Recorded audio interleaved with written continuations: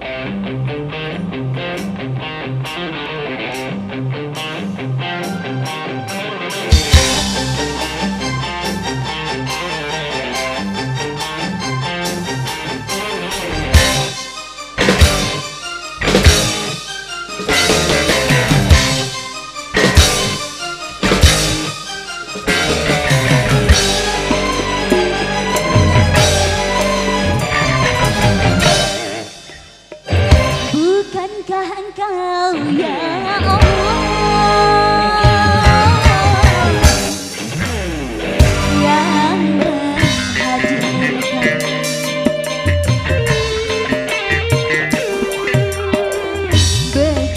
With.